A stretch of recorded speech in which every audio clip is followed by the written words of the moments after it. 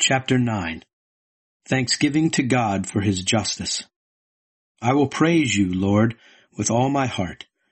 I will tell of all the wonderful things you have done. I will sing with joy because of you. I will sing praise to you, Almighty God. My enemies turn back when you appear. They fall down and die. You are fair and honest in your judgments, and you have judged in my favor. You have condemned the heathen and destroyed the wicked. They will be remembered no more. Our enemies are finished forever.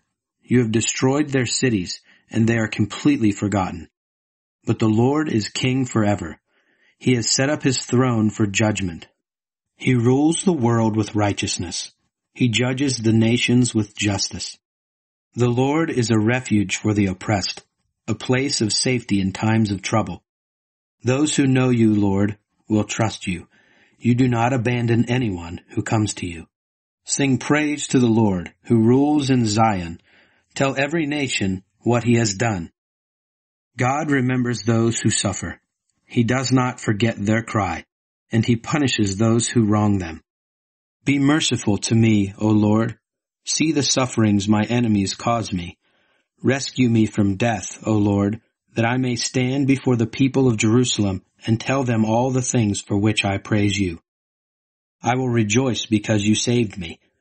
The heathen have dug a pit and fallen in.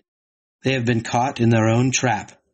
The Lord has revealed himself by his righteous judgments, and the wicked are trapped by their own deeds. Death is the destiny of all the wicked, of all those who reject God. The needy will not always be neglected, the hope of the poor will not be crushed forever. Come, Lord. Do not let anyone defy you. Bring the heathen before you and pronounce judgment on them. Make them afraid, O Lord. Make them know that they are only mortal beings.